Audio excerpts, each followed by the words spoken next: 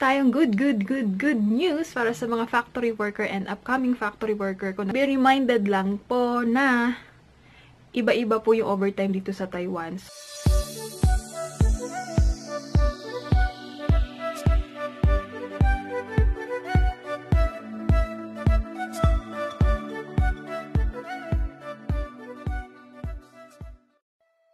Hi guys! Welcome back to my channel. Ako nga pala si Jay, isang factory worker dito sa Taiwan.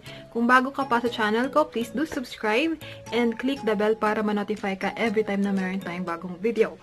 So, so yun nga guys, meron tayong good, good, good, good news para sa mga factory worker and upcoming factory worker kung nag-apply ka and as uh, aspiring uh, applic applicant ka for factory worker. Yes, yes good news na approved na po ang salary increase for this year which is 23,800 NT or 40,000 sa peso. That is the basic salary for factory worker. Hindi ko lang sure sa mga caretaker, pero pag mga engineers or white-collar job, mas mataas yung sahod nila. Pero for us, factory worker, confirm na confirm na siya effective January 1. So, sasahodin siya, lalabas siya sa payslip this coming February. Yung duration ng January 1 to January 31 na ipinasok natin, makikita natin yung increase sa February uh, February 2020. Okay? So, 40,000 na a month ang sahod ng isang factory worker dito sa Taiwan. Sulit ba yun, guys? Para mag-apply ka dito sa Taiwan, iwan yung family mo dyan sa Pilipinas.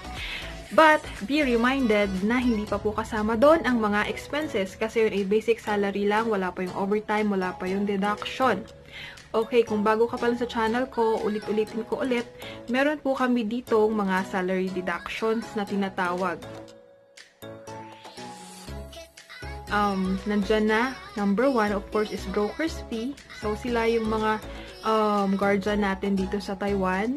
Merong uh, company na wala ng broker's fee, katulad namin, pero meron din companies na meron pang broker's fee. So, uh, first year ng broker's fee is 1,800 NT. Second year is 1,700 and third year is 1,500. So, guys, nasa kontrata naman yung napipirmahan nyo kung papunta na kayo dito sa Taiwan para mas maintindihan ninyo kung para saan yung broker's fee. Sila yung nag-assist sa atin kung may mga kailangan tayo, kung may gagawin, may mga IDs na kailangan i-renew at kung ano-ano pa. So, isa yun sa mga binabayaran. Other one is dormitory sa mga nagtatanong sa akin kung um, libre ba yung accommodation dito? Of course, not. Siguro sa ibang company, pero sa amin, at sa ibang kakilala ko, may bayad talaga yung dorm. So, yung dorm namin is 3,500 NT. Ilalagay ko na yung conversion dito. Sa kabila yun. And dito naman sa amin is 2,500 NT monthly, guys. That is salary deduction. Dormitory pa lang yun. Pagdating naman sa pagkain, um, meron kaming monthly allowance na 2,400. Kung magkano yung mabawas mo doon, or magamit mo, yun lang yung i-deduct nila sa sahod. Pero kung wala kang mabawas, buong buo yung 2,400, isasama na siya sa sahod mo. Meron din namang companies na walang um, meal allowance or sarili mong hugot ng pera yung ibibili mo araw-araw ng pagkain. So, mas nakakamura kami kasi yung um, monthly meal allowance namin, yung uh, almost 50% noon is subsidized ng company. So, yun na. Ano pa yung mga sinabi ko? Um, broker's fee, dormitories fee, meal allowance, and meron pa dyang mga deduction katulad ng insurance, health insurance, labor insurance na i-deduct sa sahod ninyo. So, kung wala kang overtime, bawa, pumapasok ka lang ng 8 hours a day, pumapasok ka ng 8 hours a day, 23,800 pa rin yung basic mo kasi wala pa yung overtime. So, tsaka lang magkaka-overtime, halimbawa, nagiging 10, 10 hours a day na yung pasok mo. Ibig sabihin, everyday may 2 hours ka na, so madadagdagan yun. Madadagdag yun sa inyong overtime.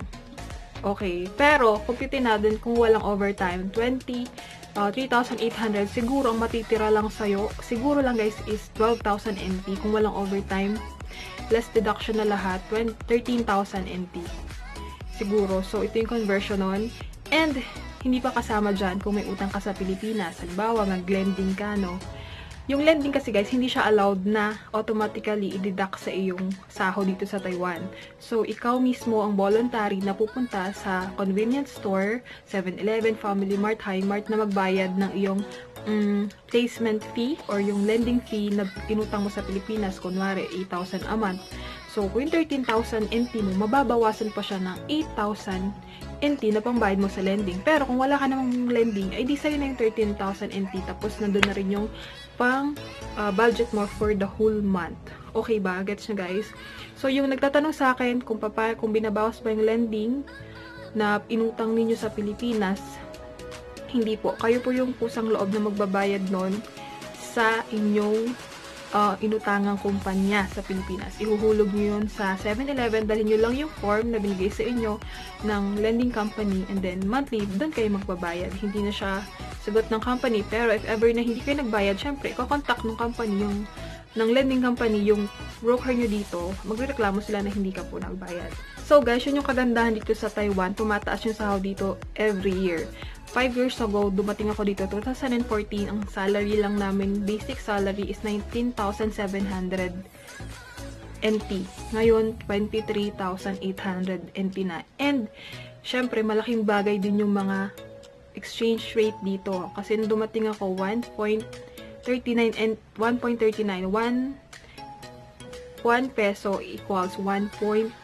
Ngayon, 1 peso equals 1.66 68. 'di ba Sobrang laki na nung tinaas niya. So, mas maganda kasi mas malaki yung mapapadala mo sa Pilipinas.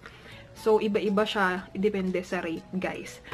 And, be reminded lang po na iba-iba po yung overtime dito sa Taiwan. So, iba-iba din yung computation ng sahod, iba-iba din yung marireceive ninyo. Meron din mga bonuses na wala dun sa isang company, meron sa isang companies, meron mga um, benefits na meron yung isa, meron yung wala. So, iba-iba. Uh, bali, yung 23,800, basic salary lang yon Hindi pa kasama doon lahat ng benefits, overtime, and deductions na pwedeng mabawa sa inyong sahod. So, i-check nyo yung payslip nyo guys next month kung nataasan ba kayo ng sahod and i-check ko rin, i-vlog ko rin kung nataasan ba tayong lahat ng sahod. So, excited na kasi malaking bagay na yun para sa aming mga OFW. Kasi sabihin mong 700 NT lang kasi yung tinaas na guys. Kasi nung last year, 23,100 yung basic salary namin. Ngayon, 23,800. So, bali 700 NT na po yung itinaas niya. Um, yun nga, para sa akin, malaking bagay na yun kasi malaking tulong at karagdagan na rin yun sa sahod kesa naman walang increase, ba diba?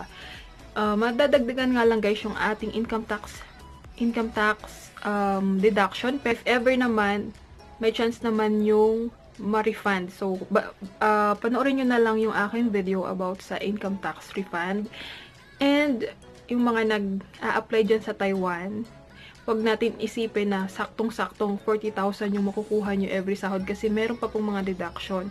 So, makinig kayo sa reality kasi syempre, ang sasabihin sa inyo ng agency, okay, tumaas na yung sahod sa Taiwan, 23,800, ikaw naman, iisipin mo talaga na ah, pagdating mo dito, yung ganun talaga yung sasahudin mo. Hindi. Kasi meron pa yung mga um, deductions. Maaring mas mataas pa doon ang sahudin mo kung mayroon kang malaming overtime. Pero kung wala kang overtime, nagtitraining ka pa lang, malamang sa malamang 13,000 NT lang yung matitira sa'yo. Wala pa dun yung panggastos mo, pang lending mo. So, be prepared. At huwag masyadong mag-expect, especially yung mga kamag-anak natin sa Pilipinas na akala nila sobrang laki nung sasahudin mo agad-agad. So, i uh, i-discuss mo rin sa kanila to kung napanood mo tong video na to na ah, ganito po pala yung mangyayari. Hindi po yan saktong 40,000 kasi may mga deductions pa. So, meron tayong tinatawag na uh, training period dito. Kapag nagtitraining ka pa lang, kadalasan wala ka pang overtime, 8 hours ka pa lang. So, wala ka pang overtime nun, wala pang extra payment. Kaya, malamang sa malang maliit pa lang yung sasahudin mo. Kaya wag muna tayo mag-promise sa kamag-anak natin kapag pumunta na tayo ng Taiwan na ang laki na agad ng sahod mo. Pero guys, nasa sa inyo naman yan kung paano nyo i-manage yung inyong pera, ba diba? Kung paano nyo um, CTP din. Kasi sabi nga, it's not what you earn, it's what you save.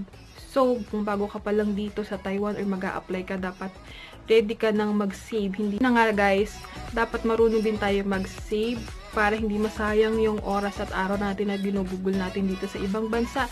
So, good luck, good luck sa mga nag apply dito sa Taiwan. And marami pa po akong video kung paano mag-apply dito sa Taiwan. Kung may karagdagan questions pa kayo, please do comment down below uh, para masagot ko sa susunod na mga videos.